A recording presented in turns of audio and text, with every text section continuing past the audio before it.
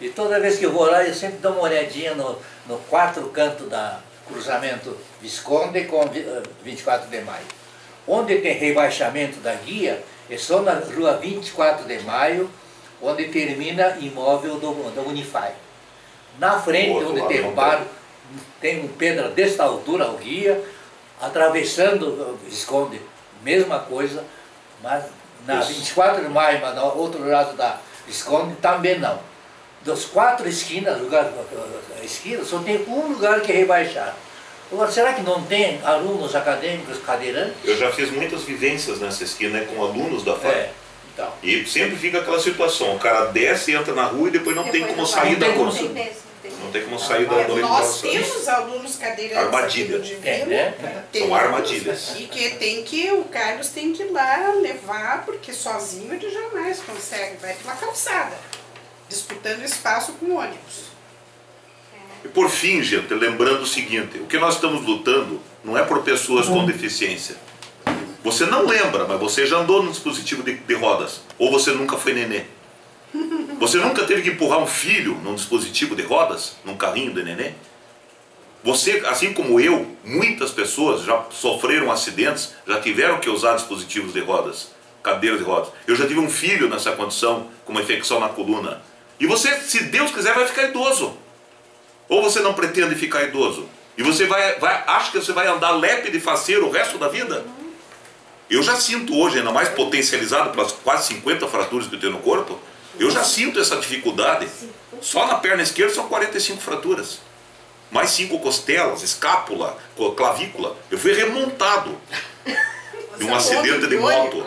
Até por falar nisso, gente, o Ministério da Saúde e nem o governo e ninguém adverte, mas moto faz mal à saúde. Vocês não imaginam o prejuízo social e econômico que esses veículos representam no Brasil inteiro. Em São Paulo, é duas, quase duas mortes por dia em acidentes de moto. E Curitiba já está beirando isso. E o DPVAT está pagando 70%, 70% a mais sobre motos do que sobre automóveis. Se você for lá no, no, no, no, no em Brasília, Sim. 70%, 80% dos atendimentos é são decorrentes de acidentes de moto. Então, gente, onde é que fica esse custo social e econômico? Será que os impostos dessas indústrias justificam todo esse, esse retorno, todo esse, esse, esse passivo que nós estamos deixando para os nossos sistemas de saúde? Eu, graças a Deus, sobrevivi, mas quantos não sobreviveram? Quantos ficaram amputados? Quantos quebraram a, a, o pescoço e ficaram dando trabalho para a família o resto da vida? Lesão medular, como o nosso amigo Rick Vilar, foi morto. E muitos deles eram esteios de família, né? É. Muitos desses acidentados eram esteios de família. Sim. Se eles parassem para pensar um pouco que, que é, é, no, todo o universo americano nosso, cada dólar investido em prevenção é 5, 10 em retorno 10. de economia. É. Eduardo Steinfeld, o arquiteto americano que fez esse estudo aí. Então, eles não pensam, eles não pensam, eles vão deixando rodar e vai caminhando para o caos, e estamos administrando o caos é. e vamos atrás, não para. É que nem outro, outro absurdo nesse país que eu fico indignado, eu falo como ex-fumante. Tá? Será que os impostos que a indústria tabagista recolhe para o governo cobre o custo do tratamento das doenças decorrentes do tabagismo? É uma desgrama. Que bom. Quando eu estava no meu cachimbo, Graças a Deus. Que eu, eu consegui. trocar o cachimbo, e você consegue. Uma fumada Acredito. trocar por outro, não posso repetir no mesmo. E não tinha outro por perto, eu usava, ele esquentava, sentia queimar minha língua, minha boca e não queria saber. Ah, esse né? A minha sogra, uma pessoa com 80 anos, eu não vou dar, dar, o nome, entregar o nome dela aqui, mas é um absurdo, gente.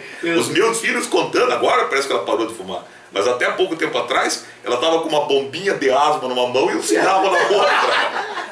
Era uma tracada e uma bombada. Dois prazeres, dois prazeres. É Ora, gente. É. Não, o pior, o pior, gente, é que os psicólogos. Prazer de mau gosto. Os psicólogos, os psicólogos já, já provaram que é uma das drogas mais difíceis de você largar.